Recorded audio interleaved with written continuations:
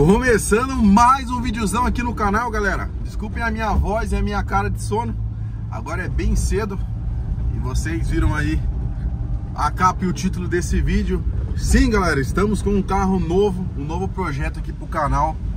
Um carro que eu já vou contar a história pra vocês Mas eu não esperava isso. Foi do dia pra noite, literalmente do dia pra noite e eu tô indo lá agora pra gente resolver. Só vou parar em algum lugar porque tá chovendo aqui. E eu já mostro pra vocês, fechou? Galera, tá chovendo pareio. Pareio, pareio, pareio. Não achei lugar nenhum pra parar pra fazer um videozão mais, mais da hora pra vocês. Me desculpem, mas é que não sabia que hoje ia amanhecer chovendo.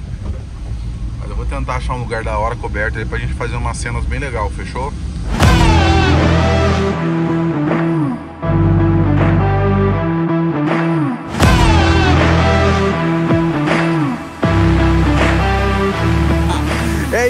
Mesmo, galera. Comecei o vídeo dentro dele já. Esse carro aqui, para quem acompanha o canal, para quem me conhece, sabe que tem ele há quase dois anos já. E qual que é a história, galera? Por que, que é um novo carro do canal? A gente vai modificar ele inteiro, galera. Inteiro, inteiro, inteiro. Algum tempo atrás eu já tava querendo comprar um, um carro para mexer, para colocar no canal, né? Pra gente ter dois carros para mexer. Enquanto ia fazendo um, outros também ia mexendo, né? Ou pelo menos ia usando esse outro. Porque o que acontece, galera? O Gol é um carro que ele acaba gastando um pouco por, por ele ser turbo. Então para ir em rolê mais longe, ou dependendo até a rolê aqui mesmo. Opa, deixa eu aqui, tá com Eu tenho que me programar muito bem, entende? E o que que acontece? Eu queria comprar outro carro também para mim mexer, um carro mais velho, um carro que desse para me modificar. E procurei carro pra caramba, procurei vários, vários carros, galera. Apollo, vi Space Fox, vi vários outros carros, porém a gente sabe que acabou subindo todos os carros, subiu o preço de todos os carros. Eu até tinha ido ver alguns outros carros, um, fui ver um Polo, fui ver um Fox também. Que outro carro que eu fui ver? fui ver uma Paraty, uma Trackfield, carros assim. Só que todos os meus carros até hoje foram Volkswagen. Eu tive um Uno, que eu comprei ele bem baratinho, na época eu paguei 5 mil nele. E ele era remarcado esse Uno, um ninho branco. E pense um carro que, nossa, só alegria, cara, só alegria. Depois, quando eu vendi ele, consegui ganhar até um dinheirinho em cima. E esse Uno vermelho, galera, o que que acontece? Eu comprei ele para fazer um negócio. Eu comprei ele num preço bem acessível. Esse carro aqui, ele é ano 2011, modelo 2012. E eu comprei ele bem em conta e eu queria comprar um no vermelho na época. Eu falei pro meu pai, ó, eu tô procurando um carro para fazer negócio, vou comprar um ninho vermelho, porque eu sempre quis ter um Uno vermelho. E eu curto o duas portas. O quatro portas eu acho que ele é um pouquinho apertado, mas eu curto o duas portas. E daí apareceu esse carro num preço bem legal. Claro, que ele tinha os defeitos. Tem defeito ainda, galera. Já vou mostrar para vocês nesse vídeo aqui. E, e esse carro tá comigo, vai fazer dois anos, dois anos e pouquinho quase. E assim, galera, eu já rodei 40 mil quilômetros com esse carro, cara. 40 mil quilômetros. Já fui para Londrina, já fui para Balneário, já fui para São Paulo, já fui para interior de São Paulo. Já fiz até trilha com esse carro aqui, galera. Então, é um carro que me trouxe muita alegria. E eu fiquei com um pouco de dó de vender esse carro. E isso eu tô falando para vocês é, é coisa recente, tá? Eu tava vendo o carro semana passada para mim comprar um carro para trazer para o canal, pra gente modificar Pra gente trazer mais conteúdo para não ficar dependendo só do Gol. Porque o Gol, agora quando ele vai vir um pouco mais baixo, vai ser um carro que vai me limitar um pouco. Pelo jeito que ele vai ficar, não vai, pra mim, não vai dar pra mim, tipo assim, usar o carro igual eu tava usando antes. Ah, mas por que você não monta a suspensão a ar? Porque você vai poder o carro... Não, galera. Porque o carro é turbo, entendeu? A maioria dos rolês que eu gosto de fazer é longe. É São Paulo, é balneário. Então, tipo assim, ele acaba gastando muito combustível. E eu tava tentando pegar um carro mais econômico. Só que aqui, ó. Olha só, para quem quer economia, compra o quê? Compra o Uno, né, galera? Olha aí, ó.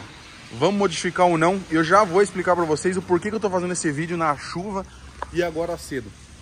Seguinte, olha só como que Deus faz as coisas no tempo certo, no tempo dele.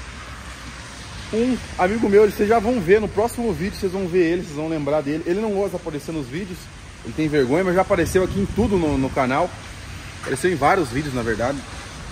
Ele pegou um Uno para negócio. E esse Uno, galera, tá todo modificado. Todo, todo. Eu não vou falar o que, que ele tá modificado, porque eu quero que vocês assistam o próximo vídeo.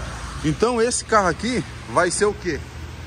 Vai ser o único vídeo que eu tô mostrando esse carro em detalhes para você, que ele vai estar tá original. Entende? Então a gente vai modificar ele todinho. Claro, né? Não vamos desmontar o carro inteiro, pintar tudo, não.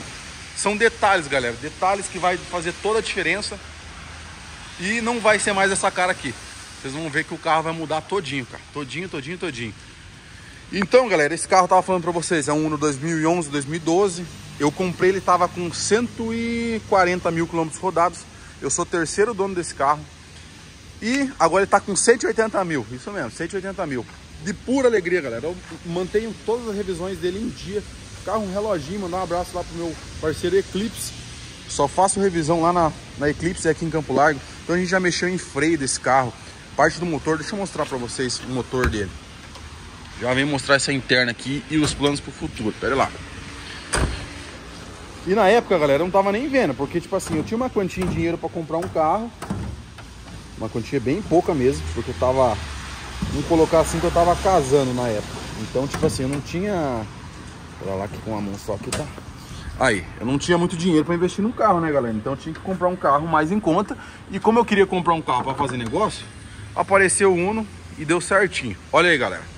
Motorzinho Fire 1.0, tudo original, tudinho original, tudo revisado.